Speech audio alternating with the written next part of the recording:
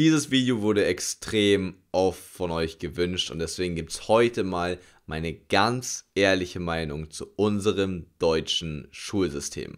Und wir möchten auch einfach direkt reinstarten. Das heißt, das ist ein spannendes Video. Holt euch eine, Tasse Tee oder was auch immer und ähm, lasst uns einfach darüber quatschen, weil mir ist das auf der einen Seite vollkommen egal, muss ich ganz ehrlich sagen. Mich juckt es nicht viel. Ich bin niemand, der sagt, oh, man muss das Schulsystem ändern und bla und bla und bla.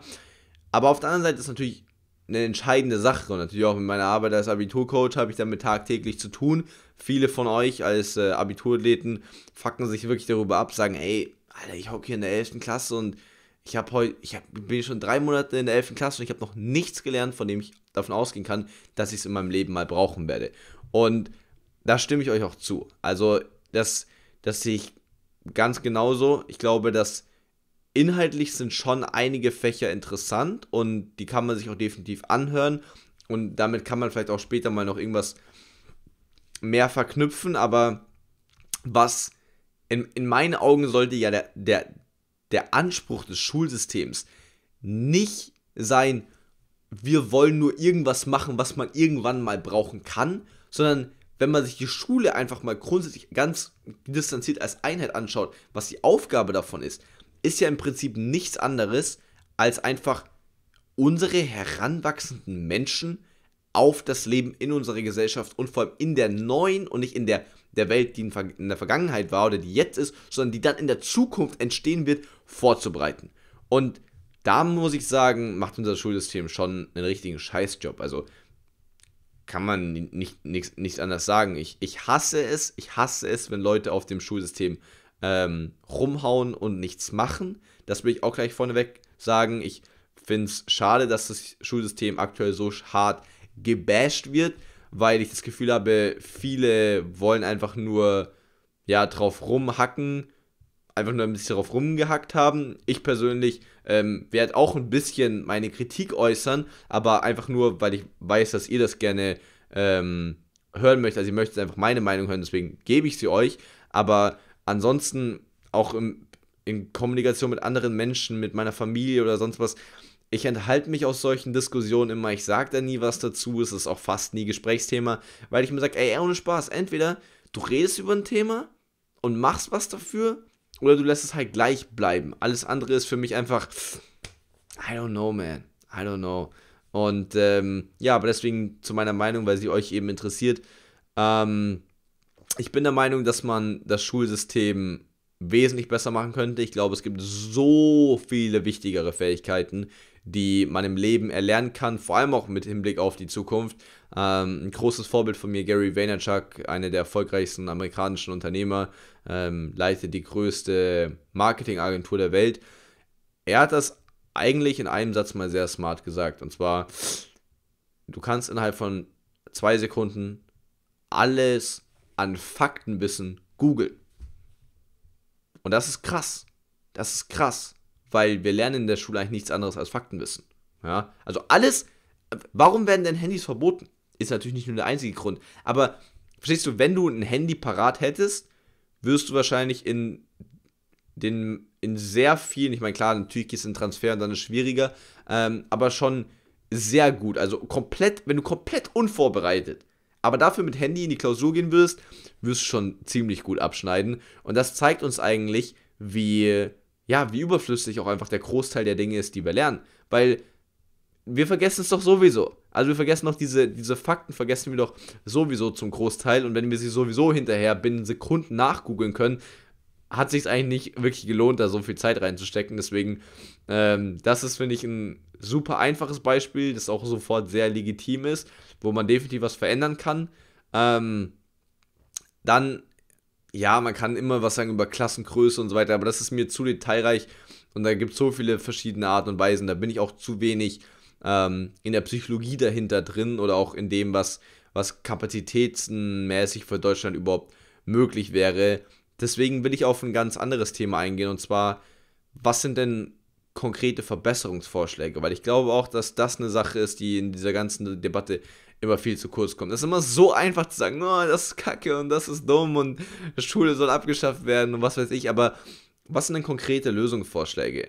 Und ich persönlich bin jemand, der extrem aufgeschlossen ist gegenüber der Zukunft, ähm, der das Internet als eine unfassbare Möglichkeit sieht und auch die Selbstständigkeit des Menschen eigentlich immer als einen sehr hohen Wert sieht und der da auch sehr stark dran glaubt. Das heißt, in meinen Augen ähm, sollte oder ist auf jeden Fall, vor allem ab einem gewissen Alter, ich denke, wenn man, wenn man noch jünger ist, macht es auf jeden Fall Sinn, wenn man einfach auch Kontakt mit anderen Menschen hat.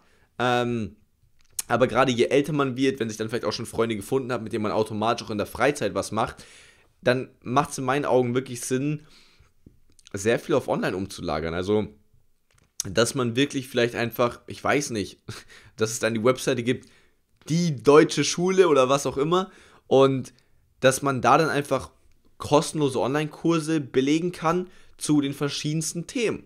Und dass du dann vielleicht auch innerhalb dieser, dieser Online-Kurse gar keine Noten mehr bekommst, sondern es geht einfach nur um, zu wie viel Prozent hast du sie abgeschlossen oder wie, wie gut bist du auch in der Abschlussprüfung vielleicht dann gewesen. Vielleicht gibt es dann auch praktische ähm, Aufgaben, also wenn du zum Beispiel einen Online-Kurs dazu machst, wie präsentiert man selbstbewusst, dass du dann am Ende einfach vor deinem vor dem Video oder vielleicht auch vor einer echten Menschenmenge einen, einen Vortrag ähm, filmst und der dann einfach von Professoren oder was auch immer sich angeschaut wird, vielleicht von, von professionellen Public Speakern, die da wirklich Ahnung davon haben und dir dann einfach eine gewisse Note geben oder ein gewisses, ein gewisses Level und dann, ja, du einfach quasi diese Qualifizierung als, als Teil deiner, ähm, deines Profils hast. Und dann andere Leute, die dich da vielleicht dafür einstellen wollen, dich dafür bezahlen werden, können sich das anschauen. Irgendwie so in der Richtung, glaube ich, wird es die Zukunft sein, die gewissermaßen auch unumgänglich ist. Die Frage ist, denke ich, nur, wann sind wir, oft ja doch auch konservatives Deutschland, ähm, bereit dazu, so einen Schritt zu gehen, weil die Umbrüche sind natürlich enorm. Also ich meine, allein stelle ich mal vor, die ganzen Schulen würden leer stehen. Wird nicht passieren, denke ich, aber ähm, es wird halt so für irgendwas anderes genutzt. Aber das ist halt schon krass. Und dem muss man sich auch bewusst sein. Aber ich glaube, dass da definitiv was passieren muss. Ich glaube, das Internet ist the way to go. Ich glaube, es geht nicht mehr darum, ähm, Fakten auswendig zu lernen. Ich glaube, es geht darum, wirklich wichtige Skills zu erlernen, seien das ähm, äh, Mathematik und auch irgendwie mit, mit Technik umgehen können, seien das ähm, Psychologie, den Menschen noch mehr zu verstehen. Ich meine, ähm, Bedürfnispyramide äh, nach Maslow sagt ja ganz klar, ey, am Anfang mussten wir uns halt vor 2000 Jahren erstmal darum kümmern, dass irgendwie wir, wir Essen bekommen und dass wir geschützt sind und dann geht es halt um soziale Beziehungen und so weiter und, um, und dass man Geld halt hat und so weiter.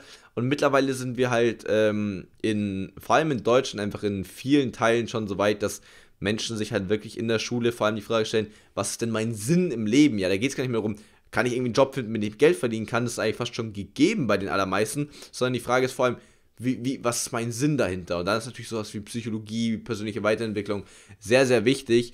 Und ich denke, dass wir einfach solche Jobs noch mehr fördern sollten, weil die, die Entwicklung passiert so viel schneller. Die, das Internet, die Technik, die Maschinen, was auch immer, ähm, rollen in ihrem exponentiellen Wachstum so langsam komplett über uns drüber.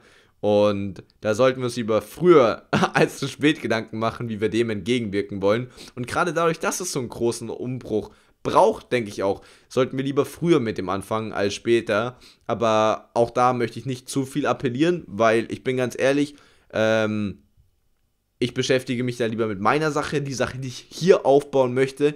Ähm, anstatt mich dann irgendwie noch auf Demos zu schmeißen oder irgendwelche Nebenprojekte zu starten. Deswegen, ähm, wie gesagt, von meiner Seite ist es für mich ein Thema, was wichtig ist, aber ich sage auch ganz ehrlich, es ist für mich nicht so wichtig, dass ich mich aktuell aktiv dafür engagieren möchte. In zwei, drei Jahren mag das anders aussehen. Vielleicht gibt es eine eigene Abiturathletenschule, wo dann alles tausendmal geiler ist, ähm, wo man mit Spaß hingeht und eigentlich nicht mehr nach Hause möchte. I don't know, kann ich mir sehr gut vorstellen. Aber bis dahin ist es eben einfach wichtig, dass ich mich auf meine Sache konzentriere. Und ich denke, so sollte auch jeder selbst seine Entscheidung treffen. Also ähm, möchte ich mich dafür engagieren, möchte ich mich dafür einsetzen, dann macht was, ähm, was Ernsthaftes, was was Sinn macht.